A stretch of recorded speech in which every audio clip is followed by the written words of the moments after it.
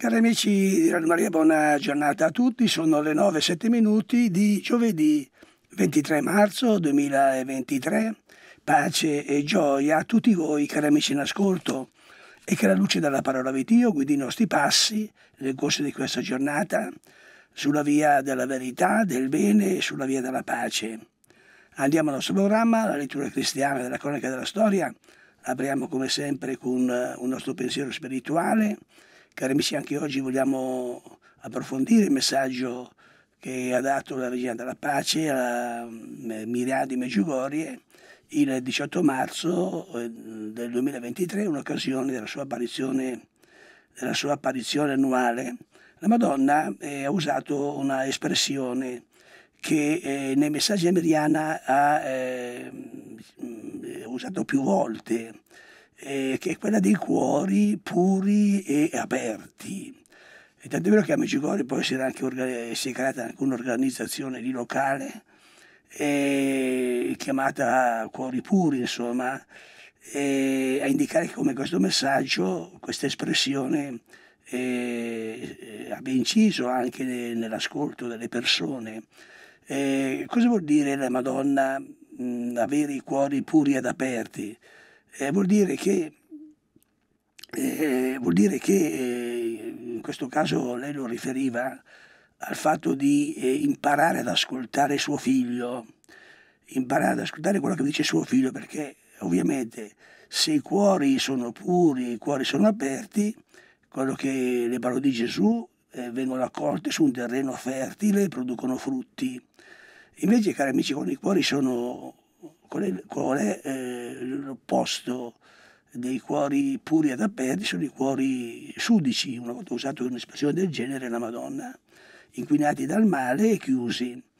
Allora, eh, questo, cari amici, è un invito anche in questo tempo di, del cammino di conversione che noi stiamo facendo, eh, è una, dire, una, esortazione a eh, guardare dentro i nostri cuori come sono eh, perché poi, come sappiamo, lo dice anche la Sacra Scrittura, Dio non guarda tanto alle opere esteriori, sì anche a quello ovviamente, ma eh, guarda soprattutto al cuore, al cuore di una persona, poi ovviamente eh, se il cuore della persona è puro ed è aperto, le opere esteriori sono, come dire, sono dei fiori veri, fiori freschi per così dire, se invece se i cuori non sono così, cioè sono chiusi inquinati dal male, le opere esteriori sono come fiori di carta, insomma, sono quelle che appunto, eh, con le espressioni che Gesù ha usato nei confronti degli scribi dei farisei, chiamando i sepolcri imbiancati.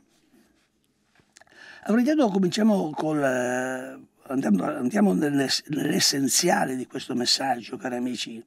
Cioè la conversione è un evento, che è un evento del cuore, prima di tutto cioè la conversione è un cambiamento del cuore. Il cuore nella concezione biblica eh, molte volte sostituisce anche la parola anima, cioè viene considerato come il centro spirituale, morale dell'uomo, eh, con, nel quale l'uomo può ascoltare la voce di Dio, eh, è il luogo del combattimento spirituale, dove appunto eh, c'è quella lotta fra eh, eh, ciò che è in noi, eh, quel male che è in noi, che è la concupiscenza, retaggio del peccato originale che ci rimane anche dopo il battesimo, che in sé non è peccato ma spinge al peccato e quindi nel cuore c'è questo combattimento spirituale per cui eh, man mano questi semi che abbiamo ereditato da Adamo producono i frutti dei vizi capitali, i frutti delle opere malvagie, dei pensieri malvagi, eh, dei comportamenti malvagi. E se non vengono estirpati eh, fin dall'inizio, fin da quando sono dei piccoli germogli, eh, ovviamente prendono forza, mettono radici, occupano il cuore e il cuore diventa, una, diventa un covo di vipere diventa il luogo dove Satana instaura il suo dominio.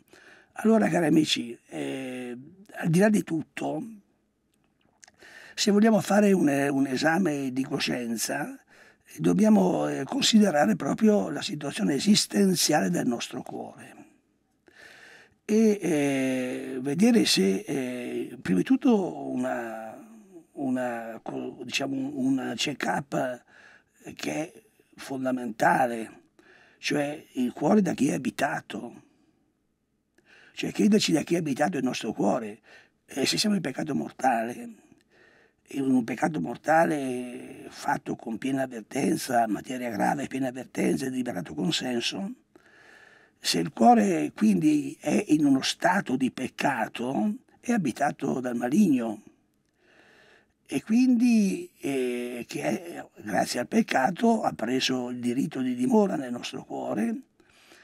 E quindi, eh, cari amici, se dovessimo vivere e morire in questo stato eh, di un cuore occupato dal maligno, non, eh, siamo come un ramo secco che non produce frutti di vita eterna. E più dura questa situazione eh, di eh, chiusura, si rischia di cadere eh, nell'abisso dell'impenitenza finale, quindi di morire impenitenti, il che vuol dire la perdizione eterna. Quindi queste sono verità di fede inoppugnabili, sono il cuore stesso della morale cristiana e della fede cristiana. Quindi la prima cosa da fare se il nostro cuore è in stato di peccato mortale è quella di, eh, nella luce di Dio, nella luce della sua grazia, nella luce della sua misericordia, fare quell'atto di umiltà, cioè perché il cuore indurito è un cuore accecato, l'abbiamo già visto tante volte, l'abbiamo già visto anche nel messaggio di Miriana che, dove la Madonna ha fatto proprio riferimento al Vangelo del giorno, che era quello del ciconato, e lì la Madonna parla chiaramente di eh, ascoltare suo figlio per riacquistare la vita spirituale. Cioè, cosa cosa ci dice suo figlio? Ci dice che dobbiamo aprire i cuori e purificarli. Allora se i cuori sono chiusi, sono inquinati e sono chiusi, cari amici, e sono quindi in stato di peccato, eh, è necessario, sono accecati anche, quindi sono in una situazione di pericolo, pericolo spirituale sicuramente, sono in una situazione di morte spirituale, perché il peccato mortale dà la morte spirituale e lì la grazia preveniente che va al di là di qualsiasi eh, considerazione, perché Dio vuole che tutti si salvino e giungano alla conoscenza della verità, quindi la grazia che Dio dà ai peccatori perché si ravvedano e perché si convertano, questa grazia è una grazia totalmente gratuita perché chi è stato di peccato è accecato, neanche se ne rende conto, neanche se ne accorge, va avanti imperterrito verso l'abisso.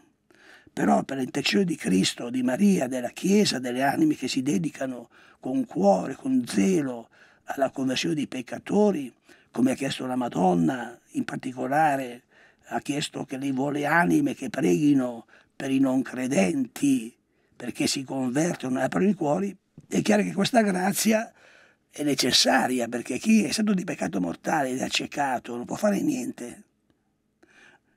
Non può fare niente.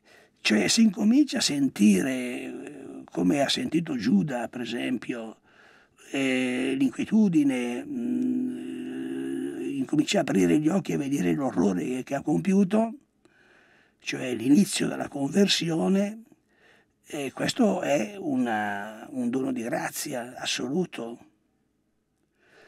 E guai a noi se non approfittiamo di questo dono di grazia, eh, sforzandoci di, corris- di corrispondere a questo dono di grazia e quindi aprire gli occhi sulla nostra situazione esistenziale di peccatori e quindi come dice la Madonna, inginocchiarsi davanti alla croce, vestiamoci degli abiti penitenziali, dice la Madonna, che sono, che cosa gli abiti penitenziali? Sono, sono eh, diciamo, la consapevolezza del male compiuto e quindi la richiesta di perdono, la richiesta della grazia del perdono, dal profondo grido a te, o oh Signore, Signore ascolta la mia voce, gridavi re Davide dopo che il profeta Nathan gli aveva aperto gli occhi sui suoi peccati, che erano gravissimi, quelli di Davide, omicidio, adulterio. Quindi, cari amici,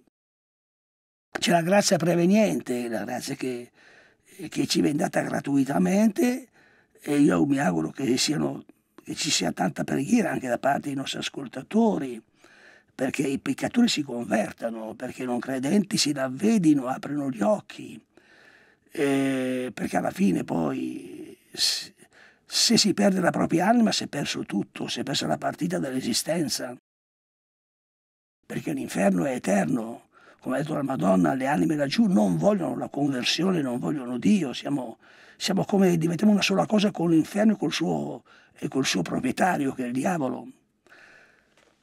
Dunque, cari amici, questo è la, il primo passo perché, questo è il primo passo perché eh, i cuori diventano eh, puri e aperti. Vorrei dire, prima di tutto l'apertura del cuore per ascoltare la, la voce di Dio, il richiamo di Dio alla conversione, eh, la voce della coscienza che ci rimprovera il malefatto, eh, sentire gli inviti dello Spirito Santo gli aneliti dello Spirito Santo che opera per la conversione, per una vita nuova, una vita di grazia, il rimorso per i peccati commessi, l'orrore per il male commesso, il fastidio per il male, e sentire l'odore di marcio del peccato, che Satana ci presenta come se fosse qualcosa di bello, di lodevole, di appetibile, poi in realtà, come dice la Madonna, ci uccide, ci distrugge con quello che ci offre.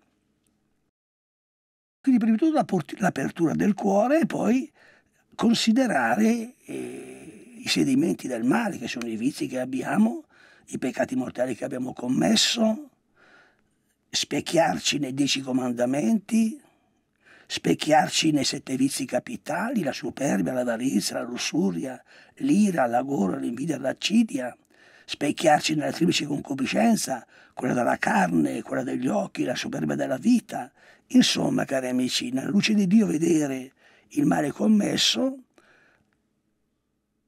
offrirlo a Lui, alla sua misericordia, perché lo distrugga nel suo amore e poi il passo importantissimo di decidere di non peccare più, decidere una vita nuova, decidere la conversione, questa decisione dobbiamo molto considerarla nella preghiera, cioè farla maturare dentro di noi in modo tale che non sia una velleità, ma sia qualcosa che ci che coinvolge veramente eh, tutto il nostro essere nella decisione, perché siamo decisi, siamo determinati, siamo inflessibili nel dire basta al male, basta al peccato, basta a Satana, replicare col cuore più volte al giorno la nostra rinuncia al peccato e al male e poi, cari amici, il, la grazia immensa della confessione sacramentale nella quale noi presentiamo il nostro male a Gesù Cristo rappresentato dal sacerdote. In questa luce il sacerdote ci dà dei consigli, ci dà delle esortazioni, ci incoraggia e ci dà soprattutto la soluzione in nome di Cristo io ti assolvo da tutti i tuoi peccati. In quel momento, cari amici, il nostro cuore diviene puro e aperto. E quindi, eh, come dire, diventa di Cristo, diventa proprietà di Cristo, diventa sede di Cristo, diventa tempio della Santissima Trinità, cari amici. questo è quello che vi auguro di realizzare, se non l'avete ancora realizzato, perché la cosa più importante è questa, perché con la vita di grazia si è figli di Dio e diventiamo anche strumenti di bene, diventiamo anche apostoli di Cristo, diventiamo anche apostoli di Maria, diventiamo membri vivi della Chiesa, non membra secche della Chiesa, diventiamo, eh, entriamo a far parte della grande famiglia dei figli di Dio, insomma, quindi questa è una, dire, una realtà che poi possiamo ottenere corrispondendo alla grazia, dipende da noi. È una realtà che si può acquisire questa ricchezza immensa, questa gioia immensa in poco tempo.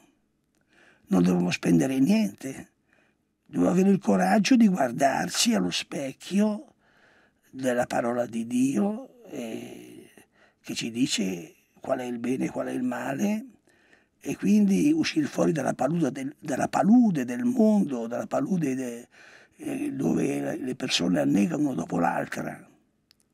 Uscire fuori con l'aiuto della grazia, cari amici, è quello che è la, la prima cosa da fare se vogliamo prepararci, prepararci ai tempi della prova. È da fare in ogni caso, perché se la morte ci coglie in uno stato di cuore chiuso, c'è proprio una grazia speciale per non perire eternamente. E, e quindi in, in, particolare ora che andiamo verso le grandi prove che riguardano la fede, anche che riguardano la nostra fedeltà a Cristo e alla Chiesa, la nostra militanza cristiana, è necessario fare questo passo di avere i cuori puri ed aperti in modo tale da riacquistare la vista spirituale. Bene carissimi, questo dunque era il pensiero che vi ho eh, coltivato, diciamo, ho, ho coltivato queste due bellissime espressioni della Madonna, cioè cuori puri ed aperti. Adesso andiamo, eh, entriamo diciamo così nella, nella, negli eventi del giorno vorrei incominciare, mm, cari amici, proprio con eh, il ricordo che ha fatto ieri il Papa, eh, Papa Francesco, ha ricordato nell'udienza generale la consacrazione che è stata fatta l'anno scorso, il 25 marzo, eh, la consacrazione della Ucraina e della Russia al cuore immacolato di Maria. È stato un evento molto importante. Poi eh, quell'evento è stato pilotato, possiamo dire, dalla Madonna in un modo particolare, direi, senza che cioè, eh, il Papa molto semplicemente ha, ha, collocato il momento della consacrazione senza saperlo, penso proprio nel momento in cui c'è l'apparizione della Madonna Meggiugorie. Quindi nel momento in cui il Papa faceva la consacrazione, eh, ecco che la Madonna eh, nella visione, nell'apparizione quotidiana del 25 del mese a Maria, e ha dato il messaggio e ha aperto il messaggio dicendo Ascol- ascolto il vostro grido, cioè il grido il vostro chi, di chi? Il, il, grido della Chiesa, il, il grido di quelli che eh, la Madonna ha chiamato nel messaggio ultimo a Miriana eh, l'unico popolo di Dio e chi è l'unico popolo di Dio? È la Chiesa Cattolica. E la Chiesa Cattolica intorno a Santo Padre, con i vescovi di tutto il mondo uniti, con i fedeli di tutto il mondo uniti, che il 25 marzo del 2022 ha eh, fatto questa consacrazione, eh, che poi era una consacrazione eh, della Russia e dell'Ucraina, ma anche del mondo intero, al cuore immacolato di Maria, per avere il dono della pace. E la Madonna ha detto ascolto il vostro grido. Allora, eh, il Papa ieri l'ha ricordato questo, questa consacrazione, io ricordo invece, perché lo posso fare ovviamente, quello che detto la Madonna, ascolto il vostro grido, però a questo punto sorgono delle domande, cioè eh, però da quel momento, come sappiamo, la guerra è andata avanti, eh, per grazia di Dio e per l'aiuto che ha avuto il popolo ucraino non è stato distrutto, però è stato ampiamente provato. E tutta la popolazione, Papa giustamente ricorda e ogni volta che può lo fa, eh, ci ricorda le sofferenze di questo popolo di cui ci siamo già dimenticati. Noi siamo già dimenticati. E, è già entrata nelle nostre case l'indifferenza, insomma, e quasi il fastidio. E proprio pensiamo a tanti civili uccisi, a tante case distrutte, a tanti bambini portati via, e, insomma eh, anche questo inverno passato senza praticamente riscaldamento, senza elettricità e senza, senza carenze di beni fondamentali, insomma una, una, tragedia che eh, si aggiunge alle tragedie che questo popolo ha subito nel passato. E sappiamo che cos'è l'Olodomor, eh, questa tragedia del popolo ucraino con 4 milioni di morti di fame ai tempi di Stalin. E, mm, quindi, eh, cari amici lucidi, eh, ci chiediamo, la Madonna ha detto ascolti il vostro grido, però a quanto pare la guerra è andata avanti, le sofferenze sono accresciute, e, diciamo la guerra adesso ha assunto connotati diversi da quelli iniziali con la visita del leader cinese Xi Jinping a Putin eh, che di fatto la proposta di, pa- di pace de- de- della Cina lascia il tempo che trova se, la, se la si legge bene eh, cioè è in realtà è stata, non è neanche stata oggetto di discussioni al Cremlino, ovviamente. Chi in questo momento non è affatto interessato alla pace, per la verità neanche l'Ucraina in questo momento è interessata alla pace, in realtà questa, questo sforzo che hanno fatto questi due personaggi eh, è stato un messaggio al mondo. Cioè un messaggio al mondo, specialmente i paesi non allineati. Per me tutti i paesi non allineati, un messaggio dove si dice in pratica noi due siamo quelli che governeranno il mondo di domani. Schieratevi dalla nostra parte perché vinceremo noi. Ovviamente due potenze nucleari di questo genere, poi anche eh, le risorse immense della Russia, poi eh, le risorse le risorse demografiche, tecnologiche e finanziarie della Cina, ovviamente sono certamente in grado di diventare padroni del mondo, ma a un prezzo di portare il mondo alla fine alla distruzione. Quindi questo sfoggio che hanno fatto ieri di se stessi, che sembravano due burattini con eh, il bicchierino in mano, non so se, se era, se era di, non so che liquore era, se era un liquore, se era prosecco o se era vodka, non lo so, ecco, che brindano in mano, a che cosa brindano, non lo so, cioè è stato uno spettacolo, uno spettacolo funebre, cioè uno spettacolo funebre che aveva qualcosa di diabolico. Per carità, non dico che gli altri siano dei santi, ma lì era proprio chiarissimo. Uno spettacolo lugubre che sapeva diabolico, cioè eh, gli aspiranti diventare i padroni del mondo.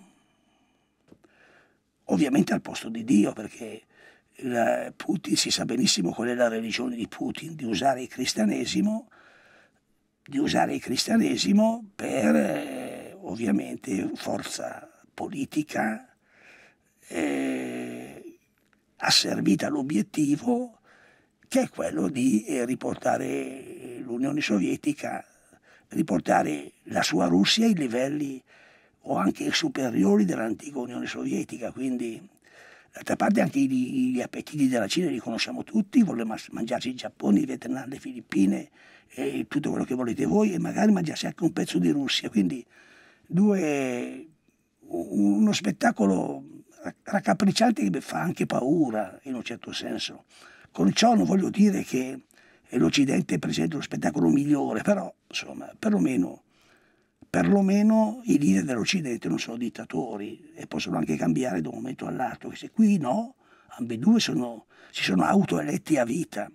Allora, quindi cosa volevo dire alla fine? Dove volevo arrivare? Volevo arrivare che sembra, sembra alla fin fine che cosa? Sembra alla fin fine che eh, quello che ha promesso la Madonna non si stia avverando. Cioè sembra che quello che ha detto la Madonna, ascolto il vostro grido, non si sta avverando. Anzi, sta peggiorando. La situazione si peggiora sempre di più. Difatti la Madonna, come sappiamo, eh, nel corso del 2022 all'inizio del 2023 ha, detto, ha fatto le affermazioni più, più drammatiche riguardo alla situazione spirituale dell'umanità, spirituale proprio, perché qui siamo, attenzione, non siamo alla guerra fra Occidente e Oriente. Questa è un'epifania di un'altra guerra più profonda, che è quella dell'umanità contro Dio. Allora la Madonna ci ha spiegato come, ci ha detto, come nel corso di questi mesi eh, la corsa dell'umanità eh, verso l'abisso sia accelerata perché sempre più l'umanità si allontana da Dio. Difatti nel messaggio diciamo tra, traumatico eh, qualcuno dice a me che io do notizie traumatiche no io dico che dice la Madonna anzi addolcisco un pochettino e anche la Madonna addolcissima figlio di cari eh, quando la, la, Madonna dice l'umanità ha scelto per la morte c'è poco da addolcire. Questo l'ha detto il 25 ottobre. Cioè l'umanità scelto per la morte dove la, dopo la, morte, dopo la, dove la parola morte ha il significato radicale che ha nella visione cristiana, perché la Madonna quando parla parla biblicamente, e cioè che sta a indicare la morte eh, spirituale, quindi la perdizione eterna e la morte su questa terra. Cioè quando, quando eh, Dio ha condannato Adamo ed Eva alla morte, morrai, la morte era spirituale e, fisica perché aveva il dell'immortalità l'ha perso Adamo, Adamo ed Eva. Quindi cari amici, la situazione da allora sembra peggiorare e così anche quello che ha detto la Madonna il 25 gennaio del 2023. Cioè la Madonna ha, detto, ha fatto un'affermazione che io ho visto dal numero di quelli che hanno visitato nostri social per cercare il messaggio e, e ha traumatizzato molte persone perché molti hanno cercato di leggere bene il messaggio dove la Madonna dice l'uomo moderno non vuole Dio e per questo va verso la perdizione. C'è l'uomo moderno, l'uomo d'oggi, l'umanità intera. Poi per carità ci sono gli strati di persone povere che sono, sono i poveri di Dio, possiamo ben dire, che sono il tesoro di Dio, col quale farà un'umanità nuova, ma l'umanità nella sua, quella che conta, c'è l'umanità che conta, sia essa in Europa, negli Stati Uniti, in Asia, ma perfino in Africa e in America Latina, per dire i paesi più mm, meno intaccati, questo tipo di umanità, cioè l'umanità che conta non vuole Dio.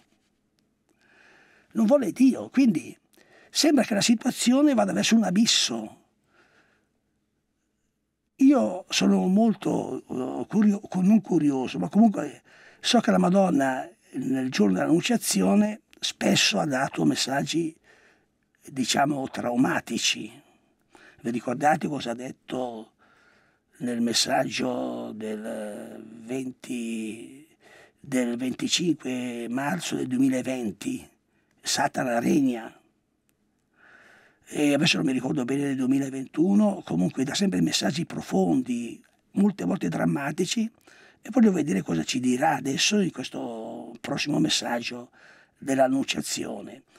Cioè, cosa volevo dire? Che sembra quasi che la Madonna ha detto ascolta il vostro grido, però in realtà la guerra, non solo la guerra è continuata, ma la, la, la, lo scivolamento dell'umanità verso l'abisso della, della perdizione, cioè della, del rifiuto di Dio, eh, eh, si è accresciuto, è accresciuto di velocità proprio.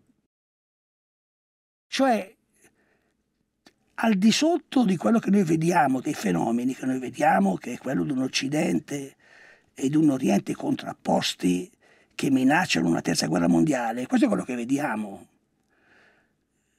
quello che, che ci raccontano i giornali, ma è anche quello che c'è in realtà. C'è ormai uno schieramento dell'Oriente, che è la Russia e la Cina, e quello dell'Occidente, che è l'Europa e gli Stati Uniti, poi ognuno ha i suoi satelliti, poi i paesi non allineati eh, lasciano il tempo che trovano, a mio parere, perché sta lì a aspettare eh, le briciole che cadono dal tavolo, non è che abbiano desideri di conversione particolare, insomma. E, quindi eh, praticamente eh, noi vediamo questa contrapposizione, ma sotto, al di là di questi fenomeni, c'è qualcosa in comune a tutti, che è la guerra contro Dio. Cioè l'umanità è unita nella guerra contro Dio, contro Cristo, contro la Chiesa Cattolica. E adesso una possibile terza guerra mondiale che in un certo senso molti dicono che è già iniziata, come effettivamente è vero, una possibile terza guerra mondiale nelle intenzioni di chi la promuove o di chi la minaccia ha come scopo di stabilire chi è il padrone del mondo. Adesso il padrone del mondo, sia pure diciamo di metà mondo comunque, sono gli Stati Uniti, chi aspira a diventare padrone di tutto il mondo sono eh, i due leader che si sono incontrati in questi giorni, cioè Putin e Xi Jinping.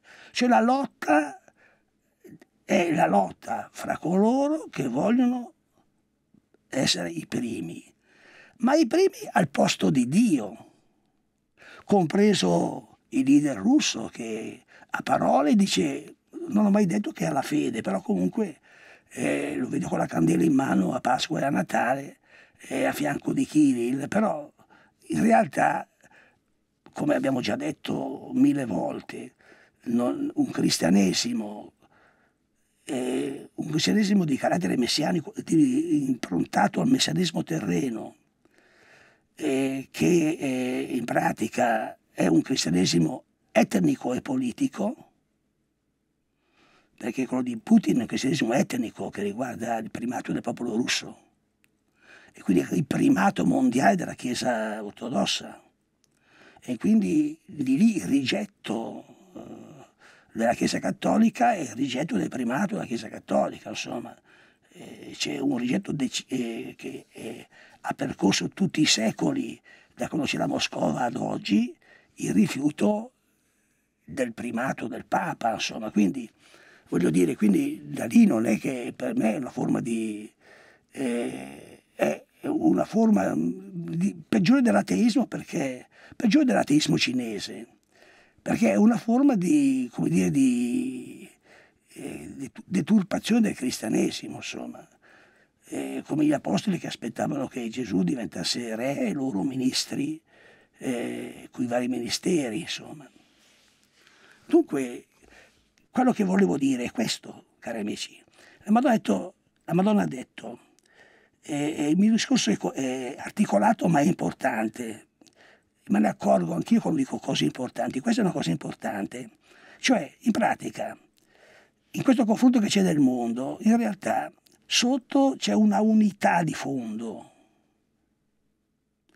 che è la guerra contro Dio. Sono tutti d'accordo che comanderanno, comanda chi vince, sono tutti d'accordo che, che comanderanno loro, non che comanderà Cristo. Chiaro? E questo riguarda anche eh, la Russia. Eh, vuole il primato nel mondo, il primato politico, il primato del comando. Eh, questo è, I due si appoggiano per questo motivo, insieme colpire, poi fra loro regoleranno i conti. Quindi nel mondo c'è questa competizione, cioè nel mondo c'è eh, la guerra contro Dio che per loro è già finita, cioè Dio non c'entra, Dio è fuori, Dio non c'è. Siamo noi i padroni del mondo, l'uomo è il padrone del mondo, come ha detto la Madonna, l'uomo non vuole Dio, perché vuole essere lui il padrone del mondo, sono, sono lì per decidere chi comanderà domani. Quindi, cari amici.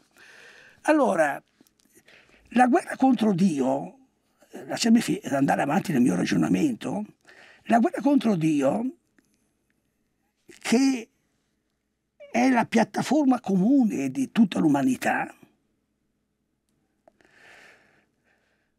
necessariamente è la guerra contro Cristo e contro la Chiesa cattolica. Perché, cari amici, bisogna mettersi bene in, ben, avere una cosa ben chiara.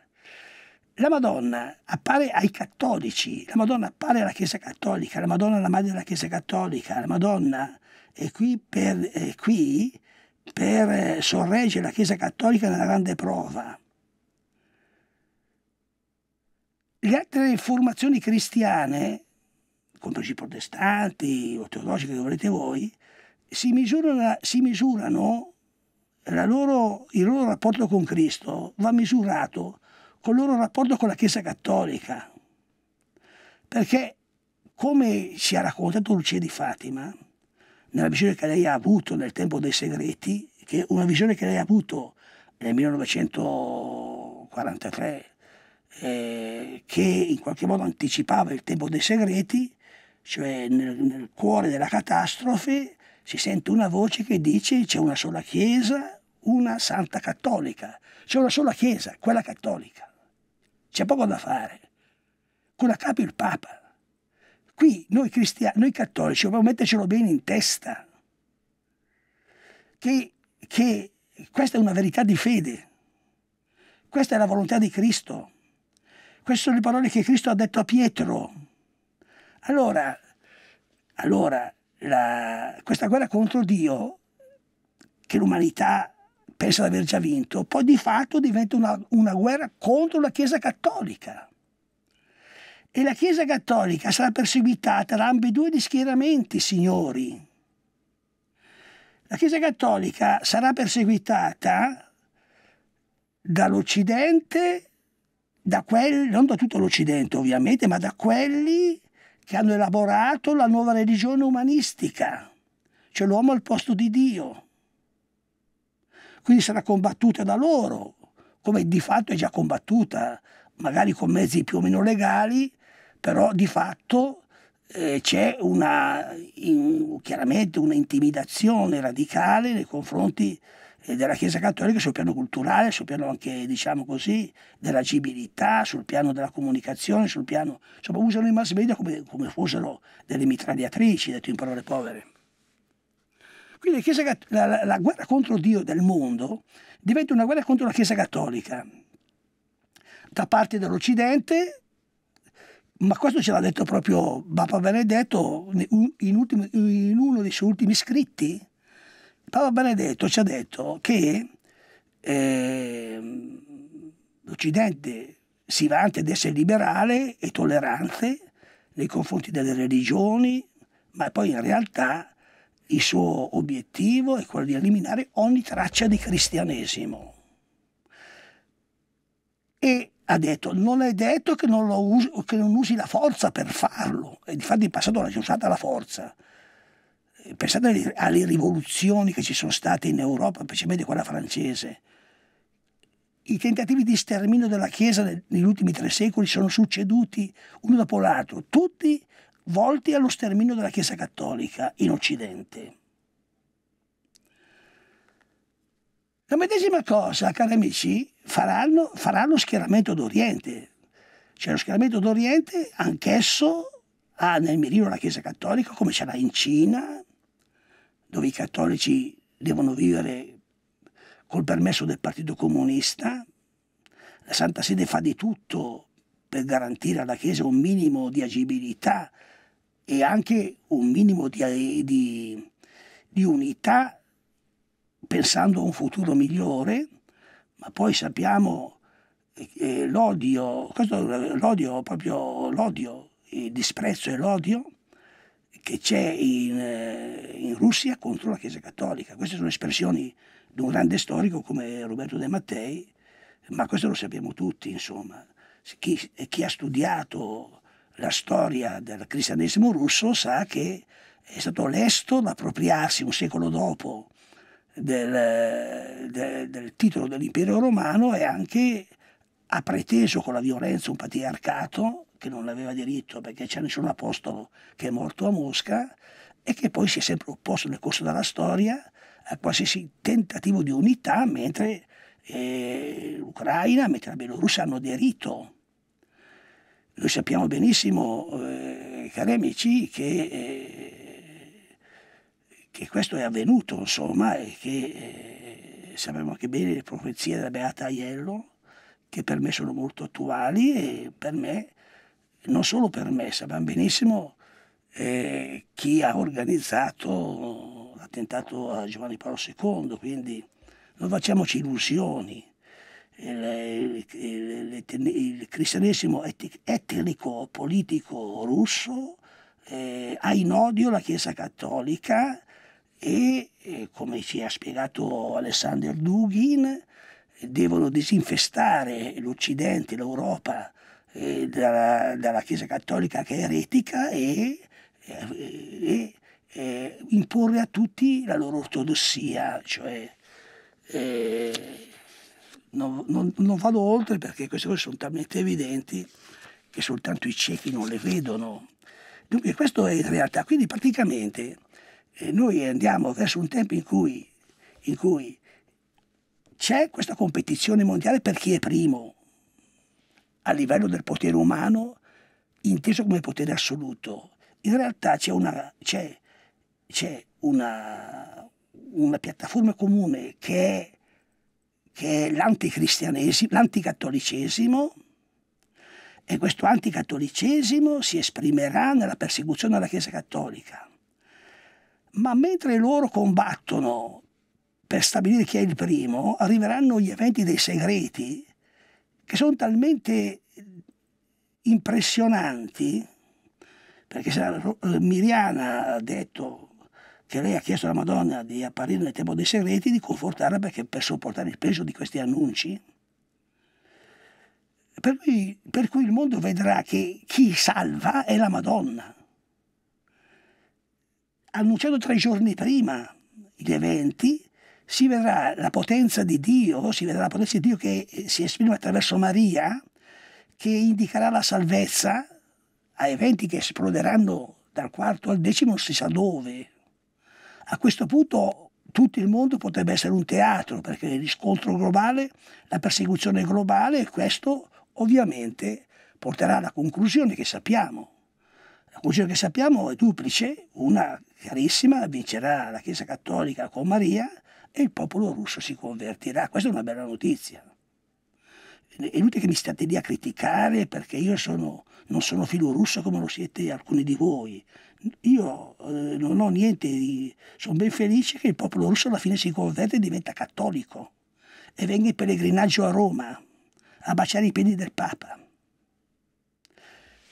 Chiaro, questo dunque è il quadro nel quale, a mio parere, ci, ci muoviamo e che ho voluto oggi mettere a fuoco. Eh, magari poi lo aprirò ancora e dedicherò un editoriale a questa tematica eh, perché eh, questa l'ho improvvisata stamattina quindi perché mi è venuto in mente che siamo vicini all'annunciazione ma ho bisogno di elaborarla bene ne farò un editoriale per, per metterci ben davanti come, la prospettiva dal punto di vista teologico che comunque è una prospettiva di, di, di di, di, di, di odio contro Dio, di guerra contro Dio, che diventa una guerra fra quelli che vogliono sostituire Dio qui su questa terra, che diventa, la guerra contro Dio diventa una guerra contro la Chiesa Cattolica, ma alla fine la Madonna vincerà perché lei ci salverà dall'autodistruzione e alla fine anche la Russia si convertirà. Poi questo è un miracolo, perché si converte, ciò, che cosa la spinge alla conversione, lo vedremo. Però non possiamo che rallegrarci di questo, ovviamente. Non possiamo che rallegrarci profondamente di questo. Io personalmente ne, sono felice di questo.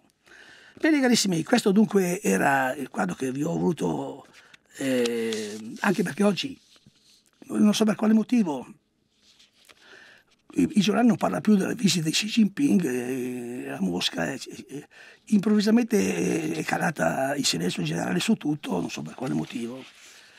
Eh, però beh, noi abbiamo una impostazione diversa e quindi eh, qui con l'aiuto della Madonna direi andiamo avanti a mettere in chiaro quello che è possibile mettere in chiaro.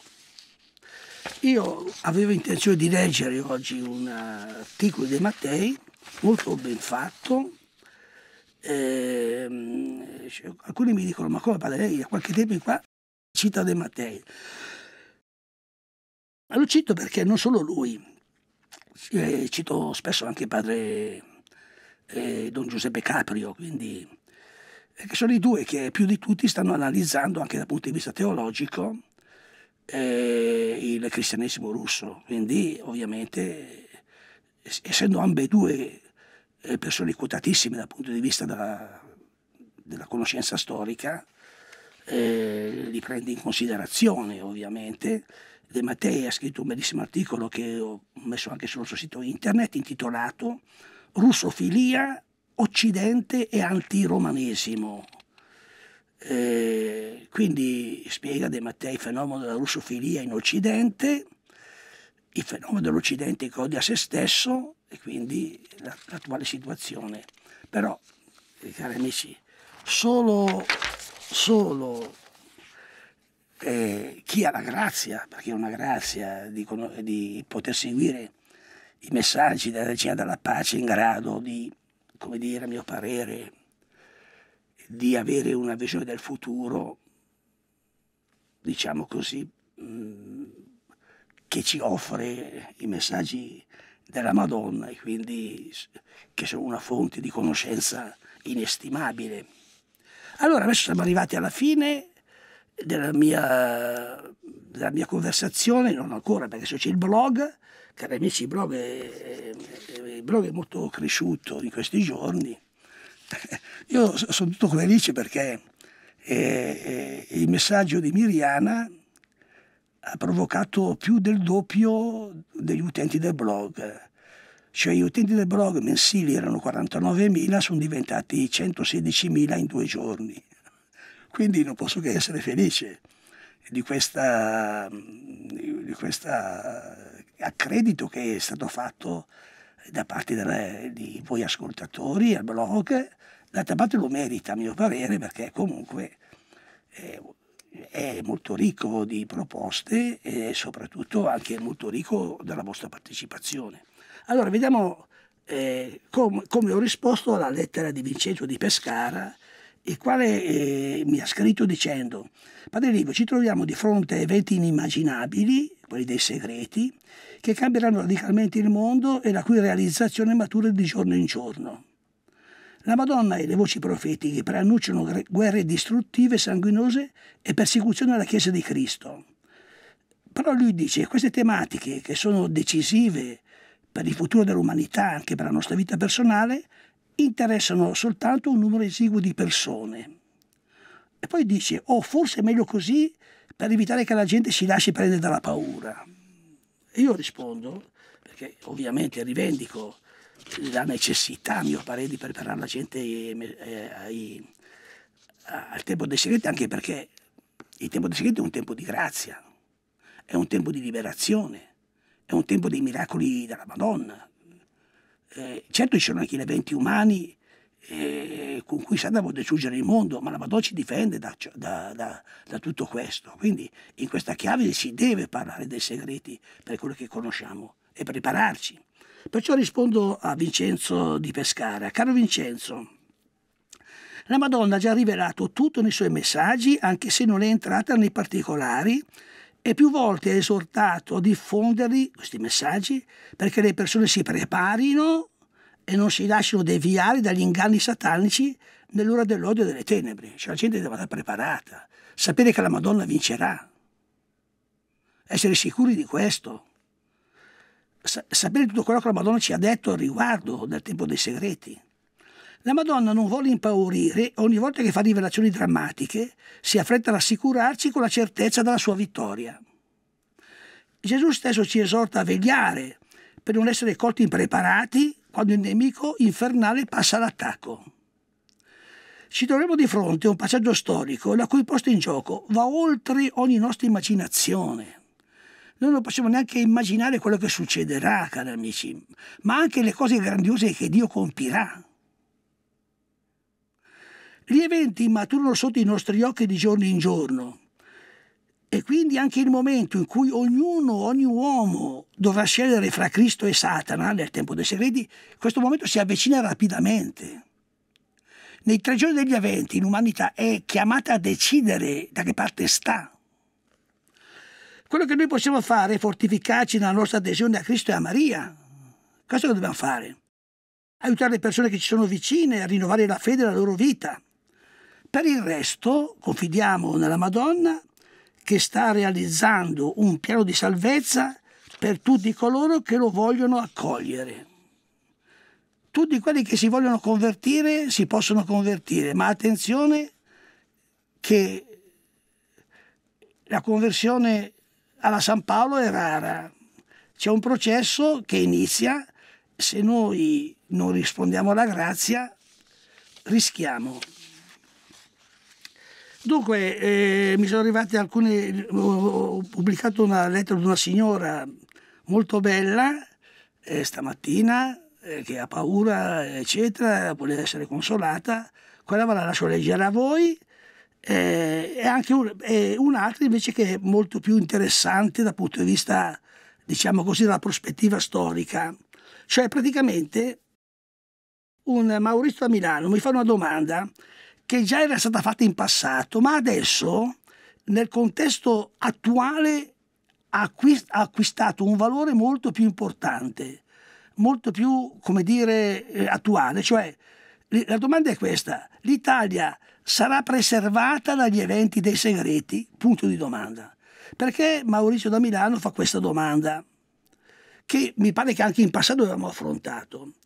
Allora, carissimo Padre Livio, la ringrazio per tutto il suo operato, in modo particolare per il blog, che è divenuto un punto di riferimento prezioso per tutti i fedeli della Gospa. Le scrivo in riferimento alla situazione mondiale che si sta rapidamente delineando come un confronto fra Oriente, Russia-Cina e Occidente, Stati Uniti e Europa, che potrebbe sfociare in un conflitto mondiale spaventoso L'impressione è che c'è una volontà di arrivare a una prova di forza decisiva per stabilire chi deve dominare il mondo. È un pericolo questo, eh, che pende sul nostro capo. L'odio, la superbia e l'arroganza hanno conquistato i cuori e con essi Satana persegue i suoi obiettivi di distruzione e di morte. L'orizzonte della battaglia si sta allargando, dice, rispetto alla scellerata decisione della Russia di invadere l'Ucraina. Cioè, praticamente con l'incontro attuale di Xi Jinping con Putin è chiaro che si è delineato uno schieramento preciso, insomma, quindi si va al di là della guerra in Ucraina, cioè l'orizzonte si è allargato molto, cioè l'orizzonte è quello da guerra universale, da guerra mondiale. Allora lui dice, in questa prospettiva, lei ritiene ancora che sia l'Europa al centro dei segreti, dal quarto al decimo? Oppure potrebbe essere il mondo intero, divenuto teatro globale, divenuto teatro dello scontro globale? Cioè praticamente chiede se, se, eh, gli eventi dei segreti potrebbero riguardare la Russia, la Cina, gli Stati Uniti o altre parti del mondo. E mi dice, in altre parole, lei ritiene che l'Italia alla fine potrebbe essere preservata da eventi catastrofici che invece colpirebbero gli attori primari, che sono, come sappiamo, certo c'è anche l'Unione Europea, però è il parente povero. Dunque, in altre parole, ritiene che l'Italia alla fine potrebbe essere preservata da eventi catastrofici che invece colpirebbero gli attori primari, cioè Cina, Russia e Stati Uniti, di un'eventuale guerra mondiale. Cioè, in poche parole, lui mi chiede se eh, in questo scontro globale dove gli eventi dei segreti potevano accadere in qualsiasi parte del mondo, l'Italia potrebbe essere risparmiata da eventi catastrofici. Ovviamente la prima cosa che dico nella risposta è che questa domanda è una domanda alla quale non posso rispondere, però possiamo fare alcuni ragionamenti. Vediamo quali. I segreti, come dicono i veggenti, riguardano il mondo e la Chiesa cioè riguardano eventi di guerra e la persecuzione contro la Chiesa cattolica. Chiaro questo? Riguardano la guerra e soprattutto la persecuzione alla Chiesa cattolica. Dico soprattutto perché io mi detto guarda che riguardano più la Chiesa. Eh? Per quanto riguarda gli eventi di guerra, per quanto quindi riguarda gli eventi di distruzione, è possibile che l'Italia sia preservata da vere e proprie catastrofi. Abbiamo tante postazioni mariane, cioè le postazioni mariane sono i, i santuari, che fanno da baluardo. Invece per quanto riguarda la persecuzione alla Chiesa, penso che il nostro paese sia il più esposto di altri per la presenza del Papa, che è il capo di tutta la Chiesa cattolica. Non dimentichiamo il segreto di Fatima, il Papa viene ucciso quando arriva in cima al Calvario. Giovanni Paolo II non è stato ucciso, quindi non è lui quel Papa. Dunque, invece per quanto riguarda la persecuzione alla Chiesa, penso che il nostro Paese sia più esposto di altri per la presenza del Papa che è il capo di tutta la Chiesa cattolica. Mi venne in mente Napoleone che cercò di portare il Papa prigioniero in Francia, o Hitler che aveva un piano per rapirlo, o chi cercò di uccidere Giovanni Paolo II per fermare il risveglio della Polonia e delle altre nazioni dell'est europeo. C'è sempre stato, nel corso della storia, chi ha voluto mettere le mani sulla cattedra di Pietro. E questo è un pericolo più presente che mai, è una mia opinione, soprattutto a causa delle lobby e dei dittatori di turno. Soprattutto per noi italiani, quindi, sarà importante e decisivo restare saldi nella fede cattolica anche a costo della vita se necessario. Alla fine sarà proprio l'unica Chiesa di Cristo, quella cattolica, a trionfare con Maria. Questa è la mia opinione, che ho espresso in questa risposta a Maurizio da Milano, eh, così con questo ho sintetizzato tutto il discorso che abbiamo fatto finora e quindi se volete eh, vederla, rileggerla e soprattutto magari passarla ad altri eh, andate sul blog eh, blog di padelivio.it eh, mm, se usate Google se invece entrate nel blog attraverso, attraverso il nostro sito che è radiomaria.it e cliccate eh, in cima a destra c'è blog di Padelivio entrate e leggete eh, la risposta a questo interrogativo, cari amici, che non è di poco conto. L'Italia sarà preservata dagli eventi dei segreti, non eventi dagli eventi segreti, non quelli che riguardano la guerra, ma quelli che riguardano la persecuzione della Chiesa. Questi no. Questa è la mia opinione, cari amici. Con questo, cari amici, siamo arrivati al termine della nostra lettura cristiana della cronaca della storia.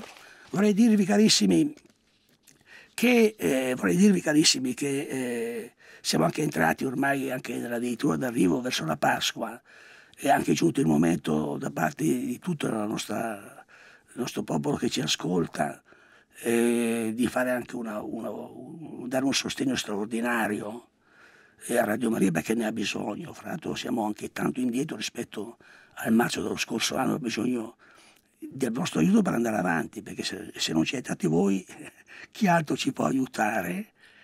E quindi eh, è un appello che facciamo, al quale avete sempre risposto, per un dono speciale per la Pasqua, cari amici. Poi adesso incomincia anche la stagione del 5 per 1000, vi ricordo anche quella, e fate anche conoscere il nostro 5 per 1000 ai vostri amici e conoscenti, potete che si allarghi anche e questa platea. Grazie cari amici per quello che farete, per il vostro sostegno, per il vostro amore per la Madonna, per il vostro amore per Radio Maria. Adesso chiudiamo e do l'appuntamento fra qualche minuto con la catechesi, con il nostro bellissimo libro di catechesi, Tempo di fortezza. A fra poco.